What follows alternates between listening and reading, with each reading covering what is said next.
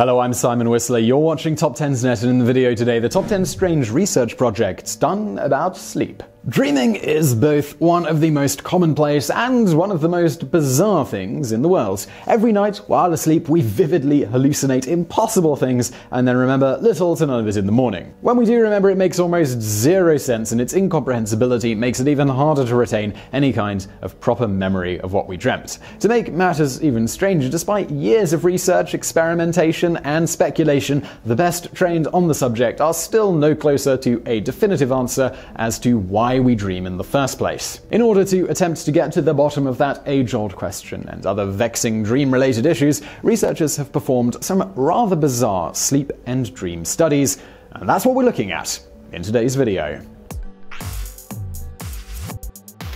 Number 10. Constantly waking people up. REM sleep is the deep restorative sleep that is short lived but really revitalizes us much more so than the other dream stages. Researchers have long known of an effect called REM rebound, wherein the more you are deprived of REM sleep, the quicker your brain will shift into REM and the more it will try to make up for it. In order to test this REM rebound effect, as well as test the link that it has on dreams, researchers needed to wake people up in the middle of the night over and over again. The experiment was overseen by a psychologist named Tor Nielsen, who headed up the the Dream and Nightmare Lab at the Sacre Coeur Hospital in Montreal.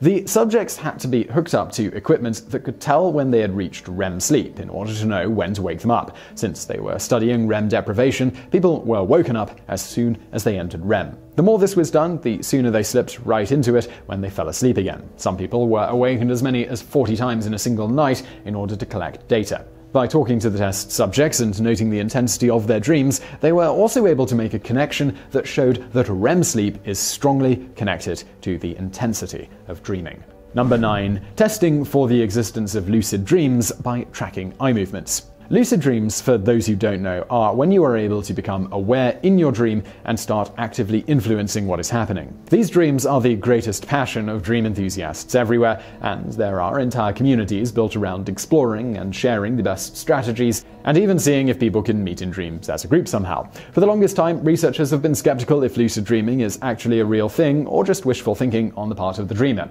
In order to get to the bottom of this, several people put in a lot of work. First, a man named Keith Hearne came up with an idea where dreaming people would be able to use eye movements to signal while they were dreaming. It was later perfected by a scientist named Stephen LaBerge, who showed conclusively from his experiments that people could indeed lucid dream and primitively communicate with the outside world using pre agreed upon eye movements. Since then, other researchers have gone further in showing that lucid dreaming is truly distinct from other forms of dreaming or waking state, which means there truly is something different about it after all. Interestingly, researchers found that people could count at the same pace in dreams, but took much longer in the dream world to complete a physical action. Number 8. Using mice with genetically modified cells to pinpoint cell activity. RBD, short for REM behavioral disorder, is a relatively little known sleep dysfunction where you act out, often violently, while you are in the most important stage of sleep. Normally, REM sleep is when your body really locks down, and most people don't move or they do little more than twitch. However, people with RBD will often move very physically while in REM, sometimes hurting the person they are sleeping with or hurting themselves by jumping or falling out of bed. For the longest time, researchers believed there was a link with RBD to Parkinson's and dementia, mainly because, especially with Parkinson's, RBD seemed to be a pretty reliable precursor. However, for the longest time, it was unproven until a pretty bizarre study. The study, led by John Peever, a biology professor at the University of Toronto, sought to pinpoint once and for all what caused RBD and if there was any definitive link between RBD and other degenerative brain diseases. In order to first make sure they knew which cells were responsible for REM sleep, they genetically made special mice whose brain stems were sensitive to light, and then shined lights on various parts to turn REM sleep on and off and pinpoint the source cells. The researchers then injected the poor mice with a virus targeted to these specific cells to see if it would give them RBD, which it absolutely did. While they did manage to prove the link, they cautioned that its use is limited. Early intervention with this knowledge might help prevent further degeneration from occurring, but as with any damage that has already occurred, it's really too late. Number 7. A study found that your dreams get weirder the longer you sleep. A study headed by Dr. Josie Malinowski of the University of Bedfordshire in the UK was designed to test how dreams and their scale of contextual weirdness increased or decreased as the night went on. The study had 16 subjects and it lasted for two nights. Each night, the test subjects would be woken up a total of four times and asked about the content of their dreams. According to the study, subjects tended to dream about fairly banal things at first, such as things they did during their day, and then things would get weirder as the night wore on. This could fit with some theories about dreaming, that it really is your mind both consolidating your memories and putting together or making sense of things throughout the day that you didn't fully have time to process. This could explain why people start dreaming about their day, and as they get nearer the end of the night, they start dreaming more and more in the abstract. Of course, no one knows for sure why we dream, so this is all just a theory. It's also hard to know how much the regular wake ups could have affected the dream. The study could have been more accurate with more people, control groups, or better rigor in general. While it is amusing and certainly interesting, it should also be taken with a grain of salt. Number 6. A study was done to test the effect of eating cheese on dreaming. Some people may have heard the old wives' tale that eating cheese before bed will give you nightmares. This probably likely stemmed from worries about indigestion or the like.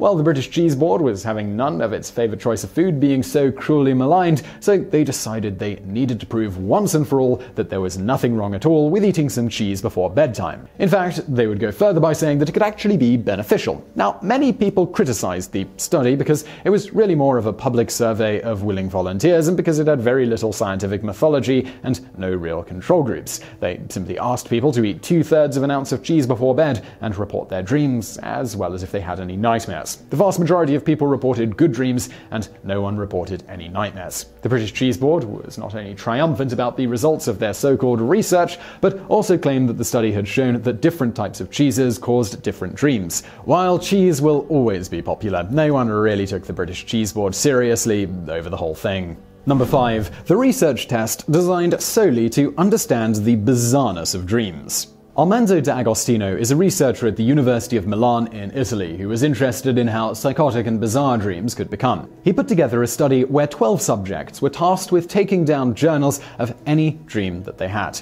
On any day they had a dream, they were given a picture and told to write a crazy story related to that picture that had nothing to do with their day or their previous dream. One month later, his team brought the test subjects back to the lab and scanned their brain with an MRI machine and found that the same complex language processing areas in the brain were active when both the fantasy story and the dreams were being read back to them. However, the fantasy stories always had an inherent logic to them, while the dreams tended to be truly illogical. And as the dreams started to tailspin further and further into insanity, the complex language activity of the brain started to decrease. Armando, the head researcher, speculates that the brain stops processing as much because the information presented starts to become so bizarre to the conscious mind that it gives up even trying to understand it.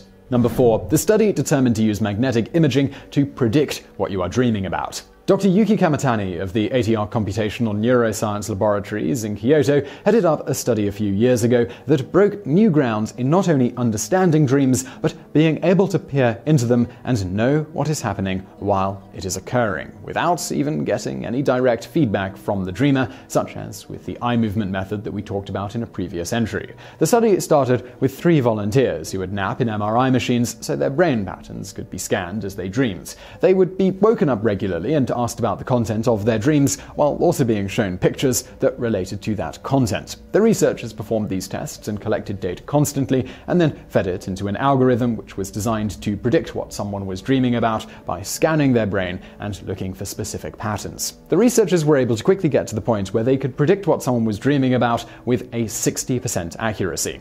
While 60% may not sound incredibly impressive at first, the fact of the matter is that someone could be dreaming about literally anything. Getting 60% out of the countless things that someone could be dreaming about is almost eerily accurate. Number 3. Despite little research on marijuana in general, its effect on dreaming has been studied. An anecdote that's been passed around forever is that if you are used to smoking marijuana on a regular basis and you suddenly stop, you will start having crazy and intense vivid dreams that sometimes seem to last consciously for quite some time. Research on the matter exists, but it's fairly vague. There's only a handful of studies, they're all rather questionable, and they point in opposite directions. Dr. Timothy Roehrs, who works at the Henry Ford Health System, and Leslie Lundahl of Wayne State University of Medicine, performed a study that Roehrs believed coincidentally shed some light on the situation. The original belief was that stopping marijuana caused vividly crazy dreams because marijuana suppressed REM sleep, but Roehrs is convinced that this is inaccurate. In a separate study of marijuana use regarding sleep, he discovered that marijuana users who went off the substance for even one night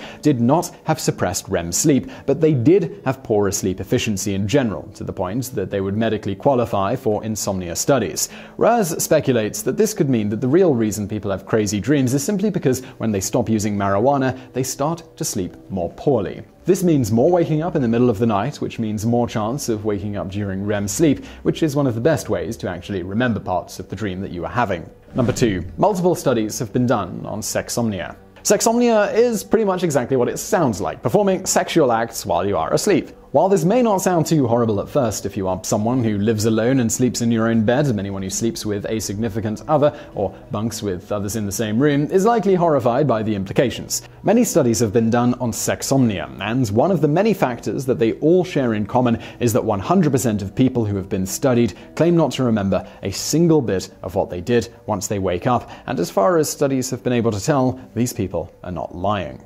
Interestingly, research has shown that many people with sexsomnia also have some kind of obstructive sleep apnea, and the breathing apparatus that people with sleep apnea use to help them sleep at night has some success in helping people who are afflicted with sexsomnia. Also, while the affliction can appear in any gender, at least in most cases it has been reported, it tends to skew heavily towards the males as being more likely to have the condition. Some people might find this funny as it's the sort of thing you see played for laughs in a comedy, but for those who have it, treatment can be really quite tricky and it's honestly no laughing matter. Number one, researchers are studying the link between virtual reality and lucid dreaming. Virtual reality is fast becoming a true trend. Console companies were trying to push it for some time, but now almost every company has a VR headset product. These are designed to be as immersive as possible, and the technology will only get better over time. However, as the technology improves and it becomes even more realistic, some researchers are concerned about how much a truly realistic virtual world could affect us and how it could potentially alter our consciousness. Jane Gackenbach, a researcher at MacEwan University, wanted to understand just how much VR was affecting us. She had people play an Oculus Rift game for 15 minutes and then describe their last dream. She also then had a group that played the game and then described their dream but did not use the VR headset. The people who had used the Oculus Rift headset claimed to remember their dreams from the previous night much better, which suggests that their time with the headset either altered their memory to think their dream was more lucid, or that using the headset helps them get in a similar brainwave state to better remember what had been going on with their minds when they had been dreaming. As a coincidence during her study, she also discovered from surveying participants that gamers, especially those who used VR devices, were much more likely to report lucid dreaming or at least having limited control over their dreams in general, as opposed to the general non gaming populace. Researchers believe this could be because playing video games puts you in a mind state where you are used to controlling and changing your environment, and you are often interacting with environments that already don't make real world sense. Using VR just intensifies the effect even further. So I really hope you enjoyed that video and don't forget to subscribe to this channel for brand new videos every day of the week. Also, I've got another channel, it's called Biographics. It's biographies of notable people from the present day as well as history, from Elon Musk to Osama bin Laden. You can check it out through the icon on the screen now. But if you want something else to watch right now, why not check out another TopTenz video or a biographics video over there on the right. And as always, thank you for watching.